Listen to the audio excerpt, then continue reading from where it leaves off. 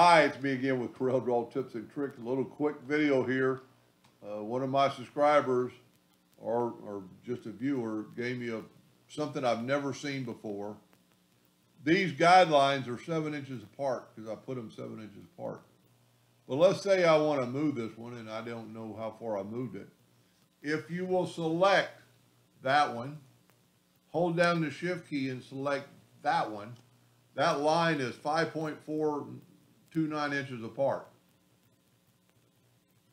That's pretty cool. Let's try that, make it, so 5.429. Let's change our nudge factor to 5.429. And let's take this one and nudge it over the other one and it's right on top of it. So the measurement is correct. So let's see how far, let's get rid of this one. Let's see how, how far these are apart. I'm going to select it, hold down the shift, and those two lines are 7.03 apart. That's pretty handy uh, when you're drawing if you do a lot with guidelines. Anyway, I hope that helped a little bit. Thank you for watching, and I thank that viewer for that tip.